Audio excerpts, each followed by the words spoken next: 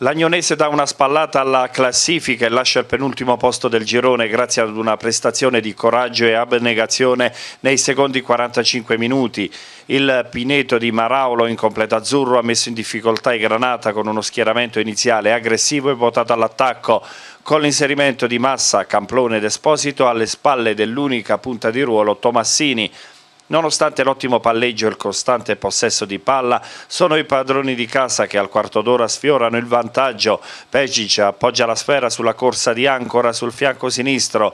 In spaccata Formuso non trova la porta. I locali si ripetono su azione analoga alla mezz'ora.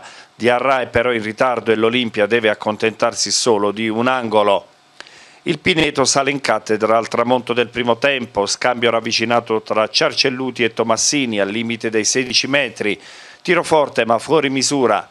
Teramani all'assalto al minuto 43, sponda dietro di Tomassini per Massa, nulla da fare.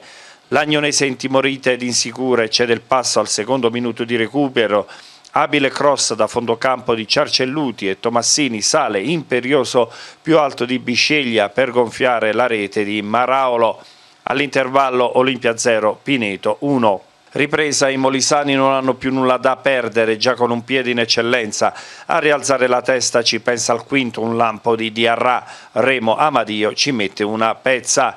Dagli sviluppi dell'angolo Bisceglia trova il pareggio a porta sguarnita dopo una prima conclusione di Ribeiro e la rete che sblocca definitivamente i Granata mentre gli abruzzesi si afflosciano.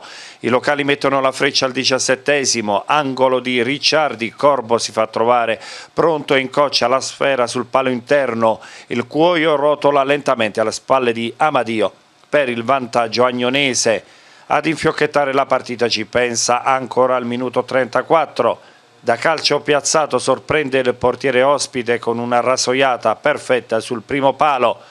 I locali non rischieranno più nulla fino al termine. L'ingresso di Cassese nel finale per Formuso dà consistenza al reparto difensivo, dove su tutti spicca la prestazione di uno straripante albanese a 180 minuti dal termine la formazione di Antonio Meco Monaco risorge dalle ceneri e può finalmente tornare a respirare profumo di Serie D.